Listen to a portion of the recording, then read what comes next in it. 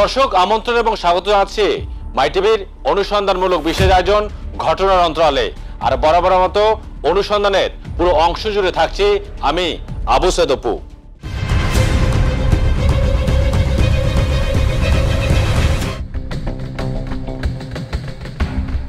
তাহমিনা বেগম চাকরি করেন একটি বেসরকারি প্রতিষ্ঠানে, বাড়ি রাজধানীর পূর্ব উলনে। বাবার নাম আব্দুল সাত্তার। চলতি বছরের গেল পাঁচ অক্টোবর হুট করে পেট ব্যথা।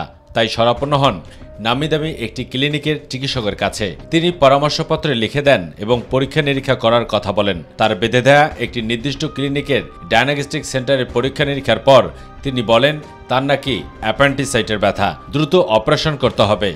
অন্যথায় মৃত্যু নিশ্চিত। তবে অপারেশন করতে হবে চিকিৎসকের পছন্দের ক্লিনিকেই। সন্দেহ হয় তাহমিনার। তারপর বেশ কয়েকটি ডায়াগনস্টিক সেন্টারে পরীক্ষা করান, ডাক্তারে দেয়া সেই টেস্ট বাকি গল্পটা তার নিজের মুখেই শুনুন। কীভাবে মানুষের শরীরের খবর নিয়ে খেলছে এসব ডায়াগনস্টিক সেন্টারগুলো আমি পুরাই ভেঙে পড়েছি, আমার অবস্থা খুবই খারাপ ছিল মানে আমি বলার মতো না। আমি সবচেয়ে বেশি ভেঙে পড়েছি এই মিথ্যা আমাকে এরকম একটা হয়রানি আমাকে যে করল, সেটা আমি আসলে মেনে নিতে পারতেছিলাম না। ওনাদেরকে বারবার বলতেছিলাম আজকে আমার সাথে করছেন কালকে আরেকজনের সাথে করবেন। তাহমিনার এমন প্রশ্নের উত্তর দিতে যখন ব্যর্থ চিকিৎসক তখন তাহমিনার কর্মস্থলের পরিচয় পেয়ে বিনামূল্যে চিকিৎসা করার জন্য নাকি বারংবার তাকে ফোন দেওয়া হয়। তারপর কি বলছেন ভুল পরীক্ষা নিরীক্ষা করা ওইসব ক্লিনিকের চিকিৎসকরা? তাই শুনব এবার তাহমিনার মুখে। আমার সামান্য একটা ব্যথা নিয়ে আমি যে হসপিটালে যাই আমার সাথে যে ঘটনাটা ঘটে সেই ঘটনাটা আসলে মেনে নেওয়ার মতো না। তো আমার সাধারণ একটা এইটার জন্য যে আমি সাতটা সাত আটটা হসপিটালে যে আমার রিপোর্টগুলো ফাইনালি করতে হয়, আসলে আসলে আমি এখন কনফিউজড এগুলোও কি সত্য কিনা? প্রিয় দর্শক, এতক্ষণ যে গল্প বলছিলাম, তা কোনো কল্পকাহিনী নয়, নিখাত সত্য, চরম বাস্তবতা। যারা ডায়াগনস্টিক সেন্টার নামে মানুষের সাথে প্রতারণা করছেন, তাদের দেখভালের যারা দায়িত্বে রয়েছেন, তারা কি জেগে জেগে ঘুমাচ্ছেন? তাই এবার রাজধানীর পথ ছেড়ে আমরা যেতে চাই উত্তর জনপদের বিভাগীয় শহর রংপুরে। সেখানে আসলে মানুষের শরীরের খবরের পরীক্ষা নিরীক্ষা নিয়ে কি তেলেসমাতি কারবার চলছে তা আবার দেখে আসা যাক।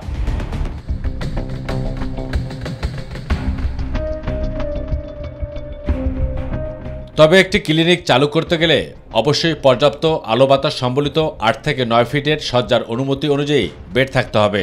ষোলো থেকে ষোলো ফিটে থাকতে হবে একটি এক্স রে মেশিন আর স্টোরুম থাকতে হবে দশ বাই দশ ফিট। ল্যাবরেটরি কমপক্ষে চোদ্দ অথবা ষোলো ফিট।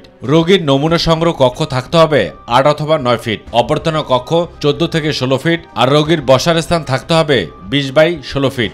তবে প্রতিটি ক্লিনিকে ওটি থাকতে হবে পঁচিশ থেকে ষোলো ফিট। থাকতে হবে ফ্রিজ ও বজ্র ব্যবস্থাপনার ব্যবস্থা।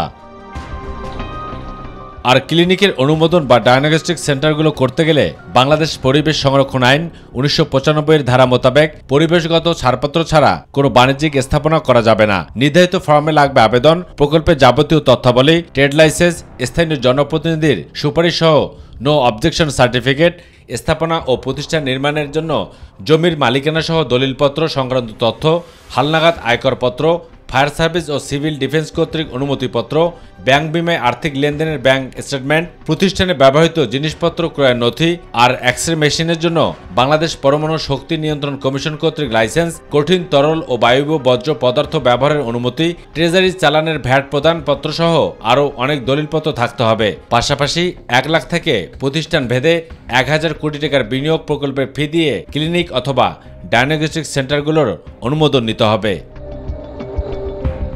অথচ আইনে থাকলেও বাস্তবে দেশের আশি ভাগে ক্লিনিক ও ডায়াগনস্টিক সেন্টারগুলো চলছে নিজস্ব রীতিনীতি ও বিধান অনুযায়ী।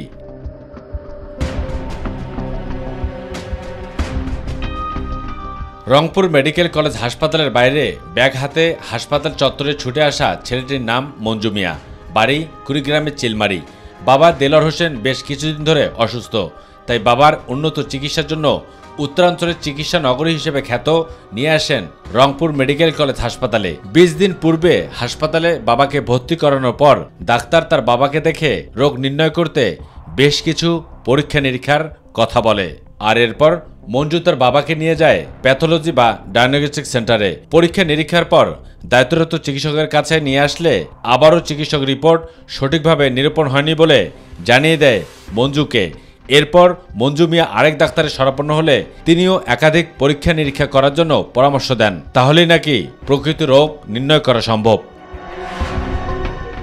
মঞ্জু মেয়ে এভাবে প্রতিনিয়ত রিপোর্ট করতে তার প্রায় বিশ থেকে পঁচিশ হাজার টাকা চলে যায়। তারপরও রোগ নির্ণয় করতে পারেনি কোনো চিকিৎসক। আর এভাবে কেটে যায় আরও বিশ দিন। অবশেষে বাবাকে নিয়ে মঞ্জু মিয়া একটি পলিব্যাগ ভর্তি ওষুধ নিয়ে হাসপাতাল থেকে ধাপের ফার্মেসিগুলোতে যাবার পথিমধ্যে দেখা হয় মাই টিভির ঘটনার অন্তরালের টিমের অনুসন্ধানী দলের সাথে। চারটা আলট্রাসাউন্ডের চার চার রকম। এখন আজকে ডাক্তার দেখাইলাম, ওনারা বলতেছে আবার টেস্ট করে। এটি বিশ হাজার টাকা টেস্ট হয়ে গেছে। ওষুধও নিয়েছি অপারেশন হয়নি। গত শনিবার অপারেশন হওয়ার কথা ছিল, হয়নি। আবার আজকে বলতেছে আগামী শনিবার অপারেশন হবে কি না, ঠিক না আমরা বলতে পারি না। আবার ফির এই যে দিনের পর দিন যাইতেছে। মানে একটা কথা যে বলব, কথা বলার সুযোগ দিচ্ছে না। তার কথায় স্পষ্ট বোঝা যাচ্ছে যে তার অসুস্থ বাবাকে নিয়ে অবৈধ ডায়াগনস্টিক সেন্টারগুলোর সাথে ডাক্তারের যোগসাজস করে ব্যবসা করে চলছে রমরমা। রংপুর হাসপাতালে চিকিৎসা সেবা নিতে আসা এরকম হাজারো মঞ্জুমিয়ার মতো হয়রানি আর নানাভাবে প্রতারণার শিকার হচ্ছেন অসংখ্য ভুক্তভোগী। অবৈধভাবে গড়ে ওঠা এসব ডায়াগনস্টিক সেন্টারগুলোতে অদক্ষ টেকনিশিয়ান দ্বারা রমরমা ব্যবসা পরিচালনা করে আসছেন প্রভাবশালী একটি মহল। এতে করে সুচিকিৎসার নামে হাজারো মানুষের পকেট কেটে লুফে নিচ্ছে সাধারণ মানুষের কাছ থেকে কোটি কোটি টাকা। আর এমন অভিযোগ সচেতন মহলের। হসপিটালের বাইরে যে ডায়াগনস্টিক সেন্টারগুলো আছে আমি সবগুলোর কথা বলব না। মানে ম্যাক্সিমামগুলোই তাদের রিপোর্টেশনটা ভালো নয়। ডাক্তার চেঞ্জ করলে অটোমেটিক দেখা যায় যে টেস্ট আসবেই চেঞ্জ পারব না আমাদেরকে টেস্ট করতে দেয় আমরা যাই টেস্ট করে নিয়ে চলে আসি। এখন ওনারা যে কি পরীক্ষা করতেছে আর ওনারা যে কি দেখতেছে সেটা বিষয়ে তো আমরা বলতে পারব না। রংপুর নগরীর যেন পুরোটাই প্রাইভেট ক্লিনিক আর ডায়াগনস্টিক সেন্টারের নগরী। ব্যাঙ্গের ছাতার মতো যত্রতত্র গড়ে উঠেছে অসংখ্য এসব তথাকথিত ডায়াগনস্টিক সেন্টার আর সরকার অনুমোদন না পেয়ে এসব পরিচালনা করা হচ্ছে। এর ফলে ভুক্তভোগীদের অভিযোগের জন্য শেষ নেই। তবুও প্রশাসন ও সিভিল সার্জনের চোখ ফাঁকি দিয়ে চালানো হচ্ছে এসব অবৈধ ডায়াগনস্টিক সেন্টার।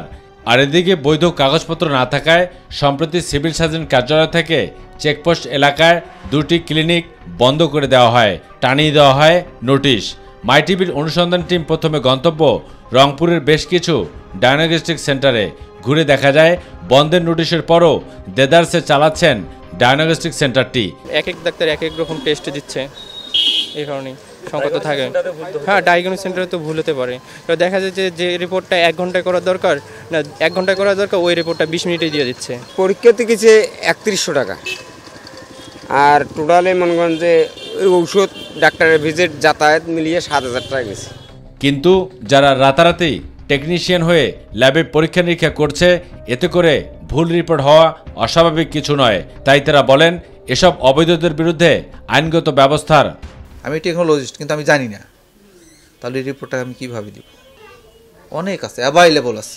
এক ধরনের রিপোর্ট দিয়েছে সেই রিপোর্ট আবার অন্য ল্যাবে গিয়ে করলে অন্যরকম আসতেছে। সেক্ষেত্রে আমরা ডাক্তাররা চিকিৎসা সেবা দিতে গিয়ে একটু বিভ্রান্তির শিকার হয়ে যায় যে আমরা এখানে রিপোর্ট করতে দিয়েছি পেশেন্টকে দেখে মনে হচ্ছে পেশেন্টটা এনিমিক রক্ত অনেক কম। কিন্তু যখন রিপোর্ট করতে পাঠিয়েছি তখন দেখা যায় যে আমাদের যে এক্সামিনেশন করে যেরকম মনে হচ্ছে কিন্তু রুগীর রিপোর্ট আসতে রুগীর রিপোর্ট নর্মাল তাই আমাদের প্রশ্ন কীভাবে অনুমোদনবিহীন একটি প্রতিষ্ঠান চালাচ্ছেন উন্নত চিকিৎসা সেবার সাইনবোর্ড ঝুলিয়ে? তবে মজার ব্যাপার হলো, এসব ডায়াগনস্টিক সেন্টারের প্রধান ফটকের উপর ঝোলানো হয়েছে বিশেষজ্ঞ চিকিৎসকের নাম ও পদবি। তবে সেখানে কোনো স্থায়ীভাবে চিকিৎসক থাকেন না। রুগী আসলে ডাক্তার ডেকে আনা হয়। দর্শক, এবার আমরা যেতে চাই রাজবাড়িতে। সেখানে অবৈধভাবে গড়ে উঠেছে অসংখ্য ক্লিনিক। প্রশাসনকে তোয়াক্কা না করেই চলছে এসব কার্যক্রম। রাজবাড়ী সদর উপজেলার শহীদ ওহাবপুর ইউনিয়নের রামপুর গ্রামের তাজুল ইসলাম ভুইয়ার স্ত্রী নাসিমা বেগম গ্যাস্ট্রিকের সমস্যা নিয়ে চলতি বছরের এগারোই অক্টোবর দুপুরে শহরের বড়পুল এলাকায় ডক্টর রতন ক্লিনিকে আসেন তিনি। সেখানে প্রতিষ্ঠানটির মালিক ডক্টর রয়সুল ইসলাম রতনের তত্ত্বাবধানে নাসিমা বেগমের বিভিন্ন ধরনের পরীক্ষা নিরীক্ষা করান। ভুক্তভোগীর অভিযোগ ডক্টর রয়সুল ইসলাম রতন রিপোর্ট দেখে জানান, অন্তত কমপক্ষে পনেরোটি পাথরের অস্তিত্ব রয়েছে তার পিত্তথলিতে। দ্রুত অস্ত্রোপচার না করলে শারীরিক অবস্থা খারাপের দিকে যাওয়ায় প্রাণ হারানোর শঙ্কা আছে বলেও জানান তিনি। গেল চোদ্দ অক্টোবর শনিবার রাতে নিজ ক্লিনিকে অস্ত্রোপচার করেন ডাক্তার রাইসুল ইসলাম রতন। তবে পিত্তথলি থেকে অপারেশন করা পাথর দেখতে চাইলে বাধে বিপত্তি। অপারেশন করা কোনো পাথর দেখাতে পারেননি চিকিৎসকরা। শুধু তাই নয়, ডাক্তার রতন ক্লিনিকে এর আগে একাধিকবার ভুল চিকিৎসার কারণে রোগীর মৃত্যুর ঘটনাও ঘটেছে। এমন অভিযোগ এবার শুনব ভুক্তভোগীদের মুখে। রতন ক্লিনিকে বিভিন্ন সময় বিভিন্ন ভুল চিকিৎসার জন্য অনেক মানুষ মৃত্যুবরণ করেছে এরকম ঘটনা আমরা দেখতে পাচ্ছি তারা ব্যাঙের ছাতা মতন করে উঠেছে আর এসব ব্যা- ক্লিনিকে ভুল চিকিৎসা হচ্ছে। এটা ডাক্তারকে কোনো খাম খেলে আছে বুঝছেন? এই খাম খেলির কারণে দেখা গেলো এই নাসিমার মতন অনেক রুগী মনে করেন দেখা গেলো হাসপাতাল ভর্তি করে ভুল সাজেশন দেয় ভুল অপারেশন করে এই কারণে দেখা গেলো অনেক কাছে মারা হয়েছে আসলে অধিকাংশ ক্লিনিকই গড়ে উঠেছে মুনাফা লুটি নেওয়ার জন্য। তারা যদি সমাধান না করে তাহলে সেই ক্লিনিকগুলি খুব দ্রুতই বন্ধ করে দেবো আমরা। সংশ্লিষ্ট চিকিৎসক ডক্টর রইসুল ইসলাম রতন জানান নিয়ম মেনেই হয়েছে অস্ত্রোপচার হয়নি কোনো গাফিলতি। আল্ট্রাসাউন্ডের সময় দেখা যায় যে অনেকগুলো পাথর আছে এবং অপারেশনের সময় আমরা দেখি যে পাথরগুলো নরম পাথর। এই কারণে এই পাথরগুলো যখন আমরা পিত্তথলিতে নিয়ে আসি পরে দেখা যায় যে এই পাথরগুলো ওই মিশে পিত্তরসের সাথে মিশে ঘন পিত্তরস তৈরি হয়েছে যে তবে অভিযোগ পেলে তদন্ত করে ব্যবস্থা নেওয়ার আশ্বাস দেন রাজবাড়ী সিভিল সার্জনের এই কর্মকর্তা। চিকিৎসকটা আরও সতর্ক হওয়া দরকার ছিল। সেক্ষেত্রে আপনাকে আমরা বলব যে উনি অভিযোগ করুক আমরা এটা তদন্ত করে দেখব। প্রিয় দর্শক সময় হলো একটি বিরতি নেবার বিরতিতে যাবার আগে একটি কথা বলি। তেরো বছর এক শিক্ষার্থীকে ভুল পরীক্ষা নিরীক্ষার কারণে অন্তঃসত্ত্বা বানিয়েছিল চিকিৎসকরা। তাই সমাজের ভয়ে এই শিক্ষার্থী আত্মহত্যা করতে গিয়েছিল। তবে কোথায়, কীভাবে, কেমন করে এসব ঘটনা ঘটেছে তা জানাব বিরতির পর।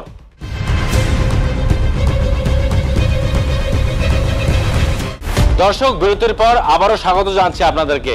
বিরতির আগে আমরা বলেছিলাম, তেরো বছর এক শিক্ষার্থীর কথা, যিনি নাকি পরীক্ষা নিরীক্ষার ভুলের কারণে অন্তঃসত্ত্বা হিসেবে এলাকায় পরিচিতি পেয়েছিলেন।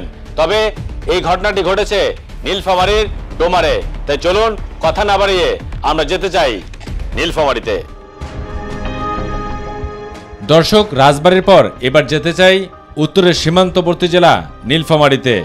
সেখানেও কি একই অবস্থা? নীলফামারীর Domar general clinic and diagnostic সেন্টারকে সাময়িকভাবে বন্ধ ও জরিমানা করেছে প্রশাসন। তা জানতে চাই আমরা। ঘটনার গভীরে পৌঁছালে কেঁচো খুঁড়তে যেন সাপের সন্ধান। নীলফামারীর ডোমারে পেট ব্যথা নিয়ে চিকিৎসা নিতে আসা অবিবাহিত ও অপ্রাপ্ত মাদ্রাসা ছাত্রীকে ভুল রিপোর্টের মাধ্যমে অন্তঃসত্ত্বা বানানোর ঘটনায় প্রতিষ্ঠানটি সাময়িকভাবে বন্ধ করে দিয়েছে প্রশাসন। করা হয় জরিমানাও। চলতি বছরের বারো জুন ওই প্রতিষ্ঠানে রোগ নিরাময়ে পেট ব্যথার চিকিৎসা নিতে যায় তেরো বছর বয়সী এক মাদ্রাসা ছাত্রী। চিকিৎসক দেখভাল শেষে আল্ট্রাসোনোগ্রাফি ও ইউরিন পরীক্ষার জন্য দেয়, কিন্তু পরীক্ষা নিরীক্ষার রিপোর্টে আসে সে অন্তঃসত্ত্বা। আর কথা শুনে সামাজিক লজ্জার ভয়ে একাধিকবার আত্মহত্যার চেষ্টা করেন ওই শিক্ষার্থী। এর ফলে এলাকায় বিষয়টি চাওর হয়ে পড়ে। সে আমার নাতিনি হঠাৎ করে পেটের ব্যথা তাকে আমি নিয়ে গেলাম জালালাল হাসপাতাল ক্লিনিকে ওইখানে যেখানে আমি আলট্রাসাউন্ড করলাম। এখন আমার রিপোর্ট দেখাচ্ছে কি ভুল রিপোর্ট দেখাচ্ছে আমার মেয়ে নাতিনির বাচ্চা কনসেপ্ট। তখন উনি আমার আলট্রাসাউন্ড করল আলট্রাসাউন্ড করার পর প্রসাব পরীক্ষা করল। বলল, আমার নাকি বাচ্চা কনসেপ্ট করছে। তো আমি তো বললাম যে, আমি আমি কেন, আমি তো একটা অবিবাহিত মেয়ে। আমি মাদ্রাসায় পড়ি, এটা তো কখনো সম্ভব না। পরিস্থিতি যখন এমন, তখন স্বজনদের সন্দেহ হলে তারা একাধিক ডায়াগনস্টিক সেন্টারে গিয়ে পরীক্ষা করে। পরে রিপোর্টে আসে, আসলে সে অন্তঃসত্ত্বা নয়। এ ঘটনায় ক্ষিপ্ত হয়ে স্বজন ও এলাকাবাসী ক্লিনিকটি বন্ধে, অবরোধের নামে রাস্তায়। পরিস্থিতি সামাল দিতে দ্রুত স্থানীয় প্রশাসন বন্ধ করে দেয় ওই প্রতিষ্ঠানটি। তাহলে এবার অনুধাবন করুন কি হাল? চিকিৎসা ব্যবস্থার? আমার নিজের আত্মহত্যা করা ছাড়াও মনে হচ্ছে যে কোনো উপায় নেই। তখন আমি নিজেও ভাবলাম না আমি তো এরকম কিছু করি না আমি আত্মহত্যা কেন করব? এখানে যে আলট্রাসাউন্ড করল প্রসাব পরীক্ষা করল দেখতেছে সব ফ্রেশ আমার ভগ্নিপতি হঠাৎ করে ওর পেটে ব্যথা শুরু হয়। হাসপাতালে নিয়ে যাওয়ার পরে আমার অনেকগুলো টেস্ট দেয়। টেস্ট করার পরে ওরা বলছে যে অপারেশন করা লাগবে। নিয়ে যাওয়ার পর ডাক্তার টেস্ট দিছে। টেস্ট করার পর এখানে নীলফামারীতে সুস্থ হয় নাই। রংপুরে নিয়ে গেছি। রংপুরে নিয়ে যাওয়ার পর রংপুরে টেস্ট দিছি। ওই টেস্টে আর এই টেস্টে মিল হয় না। ডাক্তার বলতেছে যে না বাবা তোমার তো কোনো সমস্যা নাই। যে তুমি তোমার এলে গ্যাসের ব্যথা। পরে হওয়ার পরে আমি সেই রিপোর্ট নিয়ে গেলাম রংপুরে। রংপুরের রিপোর্ট দেখার পরে ওরা বলতেছে যে তোমার তো এই রিপোর্টে কোনো কাজ হবে না। এখন আপনার নতুন রিপোর্ট করতে হবে। যখন নতুন রিপোর্ট করলাম পরে আমার নীলফামারের রিপোর্টে আর রংপুরের রিপোর্টে কিন্তু কোনো মিলামিল নাই। দর্শক সময় হলো আরেকটি। বিরতি নেবার বিরতির পর আমরা জানব এবং জানাব। সে পর্যন্ত আমাদের সাথেই থাকুন।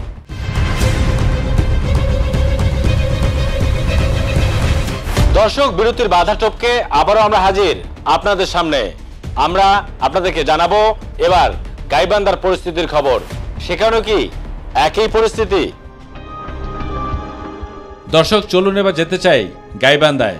গাইবান্ধা জেলা সদর সহ সাত উপজেলায় পঁয়ত্রিশটি ক্লিনিক ও প্রায় দুই শতাধিক ডায়াগনস্টিক ও প্যাথোলজি সেন্টার গড়ে উঠেছে। তবে জেলা সিভিল সার্জন অফিসের তথ্য অনুযায়ী রেজিস্টারকৃত ডায়াগনস্টিক ও হাসপাতালের সংখ্যা বিশের মধ্যে। অথচ বিভিন্নভাবে প্যাথোলজি সেন্টার গড়ে তুলে যত্রতত্র চিকিৎসার নামে ভুলভাল রিপোর্ট ও চিকিৎসা সেবা প্রদান করা হচ্ছে এসব সেন্টার থেকে। এতে করে জেলার চরাঞ্চলের সাধারণ রোগীদের অর্থ অপচয়, হয়রানি ও ভোগান্তি যেন ক্রমেই বাড়ছে। তবে প্রতিষ্ঠিত রেজিস্টারকৃত বেসরকারি হাসপাতালের পক্ষ থেকে গুণগত মান বজায় রেখে রিপোর্ট দেওয়া হয় বলে দাবি করা হলেও রেজিস্ট্রেশনবিহীন ডায়াগনস্টিক সেন্টারগুলোর মান নিয়ে প্রশ্ন রয়েই যায়। সেখানে যদি রেজিস্টার্ড টেকনোলজিস্ট এবং অভিজ্ঞ চিকিৎসক থাকেন সেই রিপোর্ট তো মানহীন হওয়ার কথা নয়। আর এদিকে গাইবান্ধা আধুনিক সদর হাসপাতালের তত্ত্বাবধায়ক জানান সরকারি হাসপাতালে সব ধরনের রিপোর্ট নিখুঁতভাবে করা হয়। আমরা ল্যাবের টেস্ট শতভাগ চেষ্টা করি পারফেক্ট রিপোর্ট দেওয়ার জন্য। ক্লিনিকের যে পরীক্ষা নিরীক্ষা সেই রিপোর্টগুলো তারপরে রুগীদের হয়রানিমূলক হয়রানি করা হয়।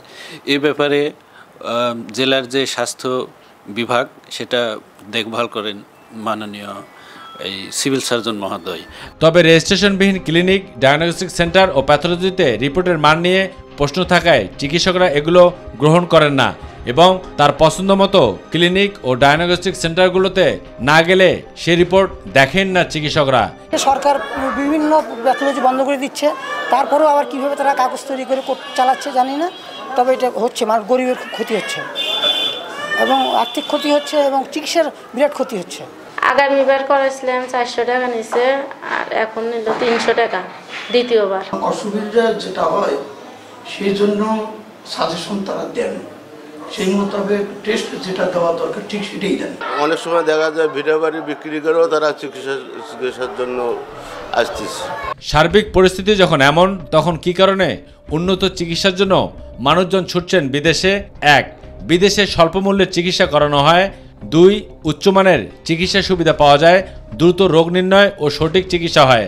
এবং তিন চিকিৎসকরা আন্তরিক ব্যবহার করেন এবং পর্যাপ্ত সময় ও মনোযোগ প্রদান করেন। তথ্য বলছে দু হাজার তেইশ সালে বাংলাদেশ থেকে ছয় লাখ সাঁত্রিশ হাজার সাতশো একান্ন জন রোগী চিকিৎসার উদ্দেশ্যে ভারতে গেছেন। তারা খরচ করেছেন আনুমানিক পাঁচ হাজার কোটি টাকার উপরে। প্রতি বছর বাংলাদেশি রোগীদের বিদেশগামী স্রোত যেন বেড়েই চলেছে। এর কারণ, চিকিৎসা সেবায় জনগণের আস্থাহীনতা অরাজক অবস্থা সহ নিম্নমানের সেবা ও উচ্চ খরচ। আর দালাল চক্রের দৌরত্ব তো রয়েছেই। এ গল্প সবারই জানা।